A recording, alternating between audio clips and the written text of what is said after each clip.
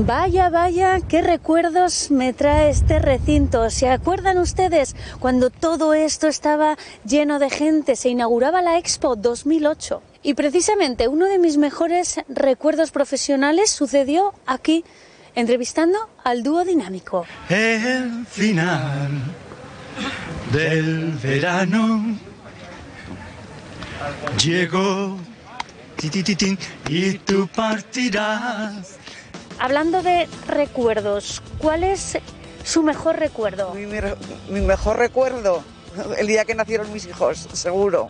Bueno, bonito, más bien una buena experiencia, ¿no? Eh, tuve un paso por el programa de Ahora Caigo y después de tirar a la persona del centro me llevé un euro. Entonces, ¿Un euro? un euro.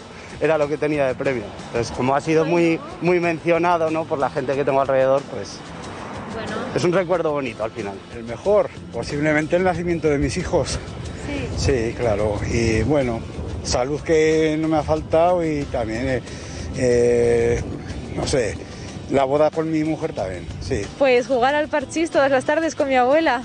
Pues no sé, el nacimiento de mis hijos, cuando me casé, pues esos son buenos recuerdos. Pues sobre todo al salir del, del colegio o las, las noches yo creo de verano. O sea, las noches de verano en el pueblo, jugando por la noche al, al escondite, al pilla pilla y demás, con todos los, con todos los vecinos. El día que me jubilé, También es un bonito recuerdo, sí, ¿no? sí, Sí, sí, porque me, me ju- me jubilé con la paga entera. Cuando nació mi hijo mayor.